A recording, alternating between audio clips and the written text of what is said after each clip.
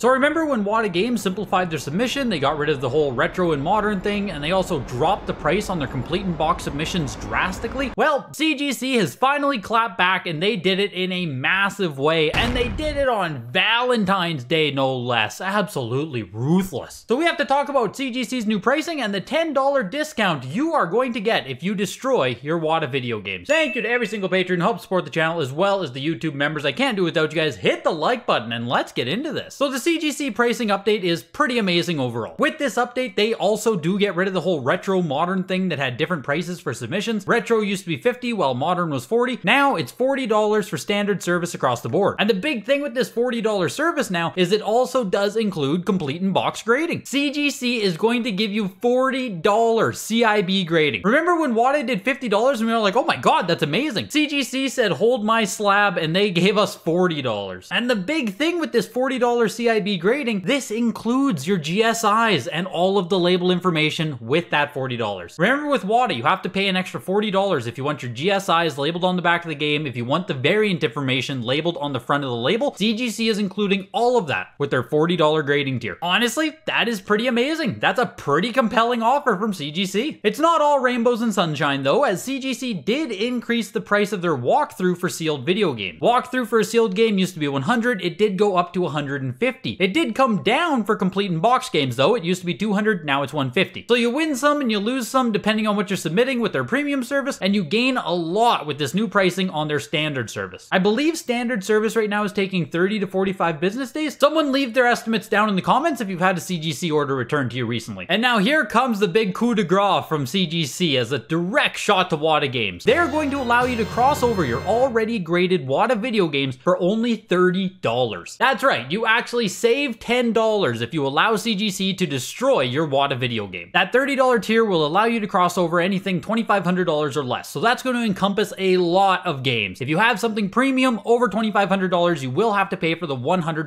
crossover tier. You will still have to purchase the CGC membership on top of this in order to take advantage of the service. And the most amazing thing about this crossover offer is it only applies to WATA games. This $30 crossover deal does not relate to IGS, P1G, or even V VGA. So that kind of tells you how much CGC thinks about VGA in 2023. In other words, they don't really think about VGA, they don't really care. It's pretty evident that CGC sees WATA as the serious competition on the market, which at this point, you guys should know that I also agree VGA has a lot of catch up to do. One small detail they do have about this crossover special. They're going to evaluate your game in the WATA holder to see if it's a CGC same grade or higher. If it's not the same grade or higher, they are actually going to reject your crossover, but you still will have to pay for it. Most stuff should be right around the same grade, so you should be safe with almost all of your stuff, but definitely keep this in mind. And with all of that, we now have the same discussion that we were just talking about with WATA Games in the $50 CIB tier. It's now only $40 to submit a CIB game. CIB grading is absolutely going to become a lot more popular throughout the year of 2023. I assume that CGC games in general are going to explode in popularity and we're going to start seeing a lot of them. But let me know how you guys feel. Is price your biggest deciding factor when it comes to submitting with these grading companies? What do you still look for between WATA and CGC in 2023? What about VGA? Do you guys still consider them top grading competition right now? Let me know how you guys feel down below. Hit the like button before you go, and I will see you guys in the next video. Bye.